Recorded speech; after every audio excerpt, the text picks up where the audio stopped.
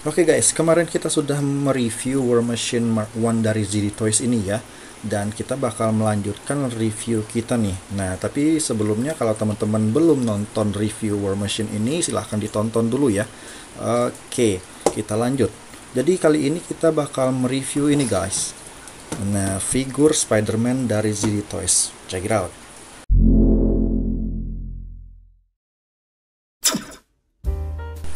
Oke guys, sebelum kita review, kita unboxing dulu nih packaging dari Spider-Man Integrated Suit-nya ini. Nah, dan ini masih MISB ya, jadi masih baru sekali, belum ada saya buka juga. Masih dalam kemasan plastiknya. Jadi kita copotin, kita robek dulu plastiknya ini guys. Oke, sudah nih guys. Jadi seperti ini tampak depan dari box artnya nih ini tampak samping ini tampak samping yang satunya ini tampak bawah kosong tampak atas kosong. Dan ini tampak belakangnya nih. Mantap ya packagingnya. Oke jadi sistematika pembukaan packaging atau boxnya ini kayak gimana nih? Ya dari samping ya. Ini ada magnet sama seperti war machine kemarin nih. Nah jadi war machine kemarin itu dibuka seperti ini. Dan yang saya sadar ini itu beda ya war machine-nya baru ingat ya kalau uh, Iron Man itu langsung disambut dengan ini loh foto uh, figurnya. Tapi di war machine ini nggak ada. Seperti apa nih untuk yang Spider-Man-nya? Sama seperti war machine atau Iron Man? Jadi kita langsung lihat aja ya. Oke jadi seperti ini guys. Tidak disambut oleh apa-apa tapi langsung figurnya ya. Nah jadi eh, nggak uh, ada foto dari figurnya nih. Padahal bagus kalau packagingnya seperti itu. Oke jadi kita lihat lagi. Ini untuk figurnya di dalamnya. Kita langsung disambut figurnya ya. Nah kita copot dulu. Dan pasti ada dua kompartemen ya. Jadi ini figurnya dan di belakangnya ada aksesoris yang didapat. Oke kita kesampingkan dulu yang ini. Kita lihat figurnya nih kayak gimana modelnya. Oke ada plastik penutup untuk nggak lecet. Nah Wush, mantap guys. Ini feeling megangnya, wush, keren nih. Teman-teman bisa lihat ya, ini serat-seratnya nih. Tapi keras, uh, keras banget nih. Seret, seret banget. Ini menandakan dia figur yang baru ya, sangat baru. Oke, jadi ini kalau teman-teman pegang langsung, hands on langsung, ini mantap banget nih feelnya Oke mantap mantap. Jadi kita lihat dulu ketampanannya nih. Jadi dia ini ya, ini Tom Holland ya. Dia rada ramping, ya ramping dan ya untuk armor armornya ya seperti ini aja. Ini serat banget guys. Oke kita bisa buka belakangnya ya. Nah mantap. Ini loh yang saya keren nih. Lihat nih, keren banget.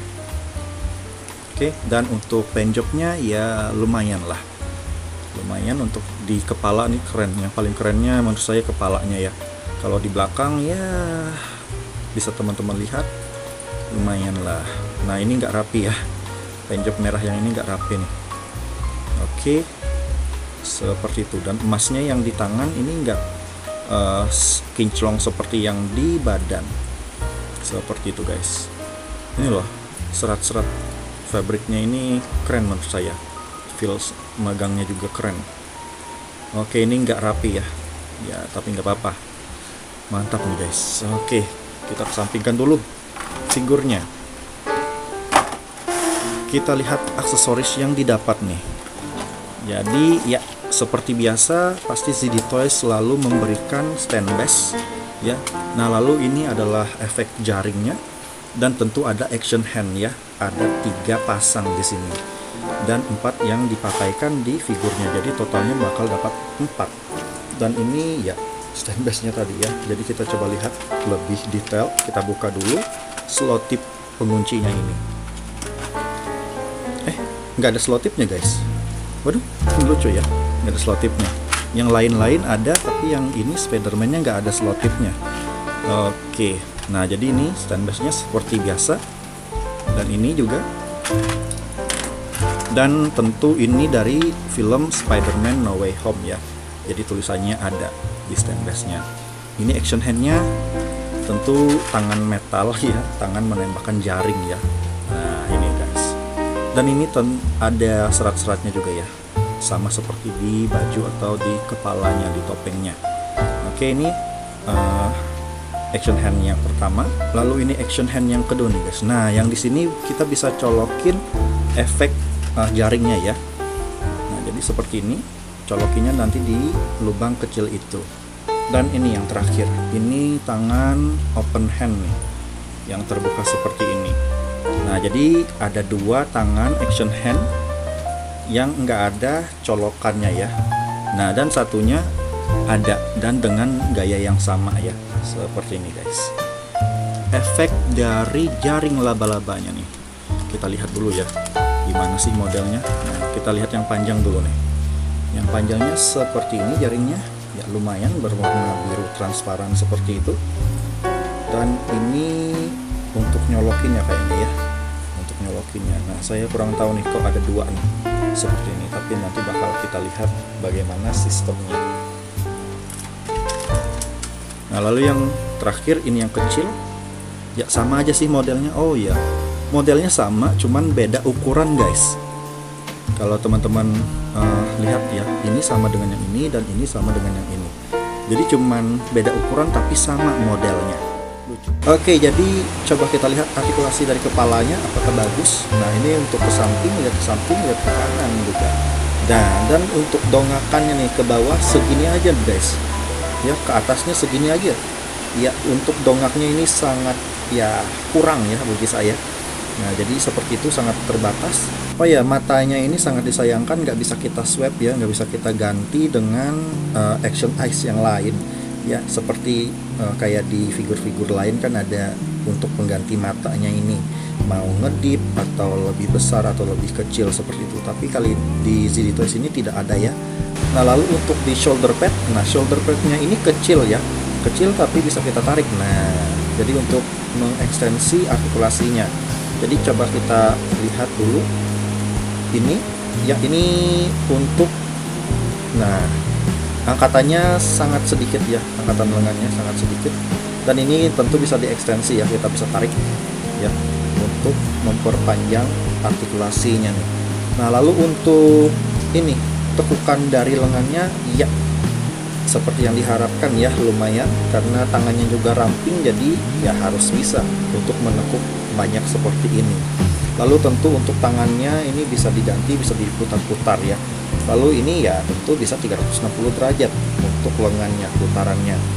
Oke nah lalu ini nih ZD Toy sudah berbenah nih. Khusus sepertinya khusus ya di Spider-Man ini karena dia ini memang harus ada artikulasinya banyak jadi dikasihlah ini nih.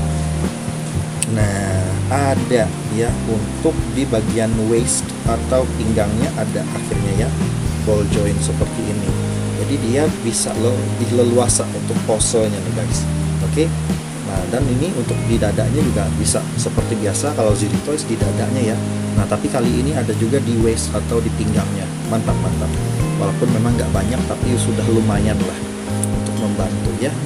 Oke, seperti itu. Nah lalu untuk di kakinya modelnya seperti ini joinnya ya. Ini tentu bisa kita nah, tendangannya bisa seperti ini ya. Tendangannya oke. Lalu untuk tekukannya itu segini aja ya. Tekukannya segini aja. Jadi nggak terlalu banyak nggak terlalu ekstrim juga tapi sudah lumayan cukup ya. Oke. Nah dan kakinya juga modelnya keren ya. Ini pantatnya tepos. Oke.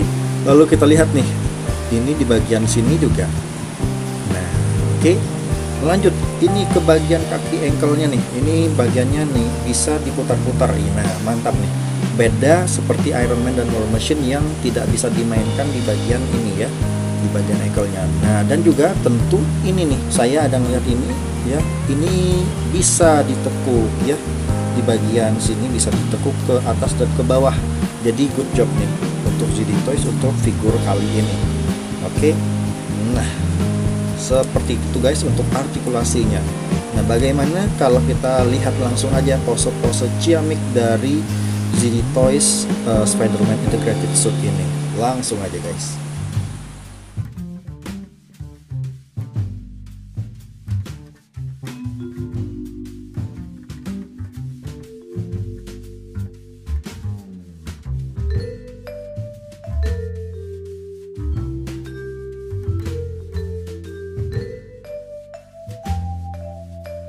Oke guys, jadi seperti itu aja review kita kali ini untuk ZD Toys Spider-Man Integrated Suit-nya. Jadi jangan lupa subscribe, jangan lupa like, jangan lupa share, jangan lupa komen juga ya guys ya.